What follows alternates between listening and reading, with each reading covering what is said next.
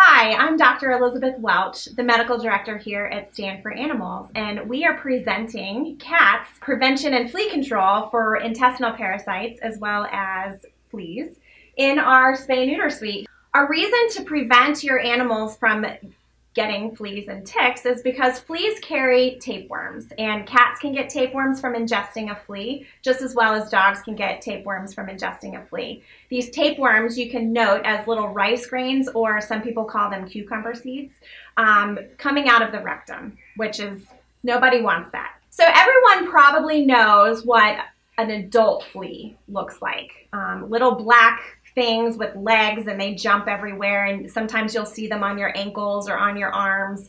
Um, they can bite humans too, but thankfully fleas don't spread terrible things to humans nowadays. They were the plague back in the day, but that's been eradicated, so yay. Um, but you will notice these, um, you can see little almost like pepper grains on your, on your dog or your cat. And this is actually feces from the flea sucking the blood of your cat. So if you put those little black flakes under water, they will ooze red stuff.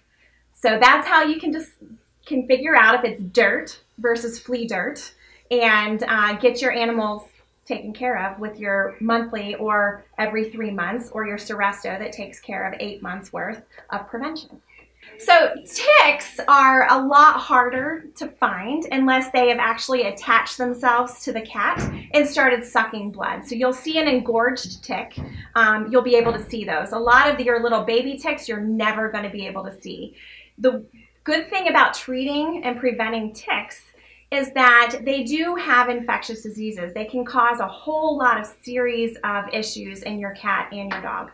So we want to make sure that we don't get those because if those cats bring those ticks in, humans are also susceptible to these diseases. There are a couple of options for cats because cats, no matter if they're indoor or outdoor, can come down with flea infestations. Fleas are very resilient. They can come through your open windows, your open doors. It's nice nice and warm outside right now, so spring fleas are in full effect. So for your kitty cats that um, like to go indoor, outdoor, and might be a little sensitive to some topical um, medication, we have a Seresto collar. The nice part about the Seresto collar is it does last for eight months, which is really nice. It also protects against all um, life cycles of the flea and the tick. So it's very nice.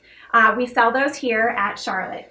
And again, there's a ton of products out there. These are the products that we currently carry within our facility.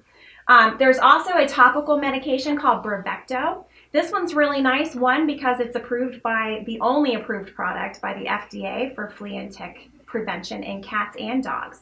It also is a topical, which is nice for cats, but the really nice thing is you only have to apply it every three months. And it does uh, the entire life cycle of fleas and ticks as well.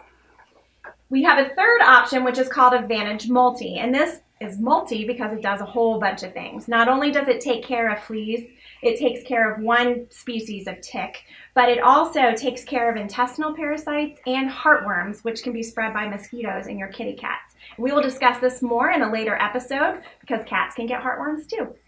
Thank you so much for joining us today for the Stand for Animals snippet. Please be sure to tune in for more by subscribing.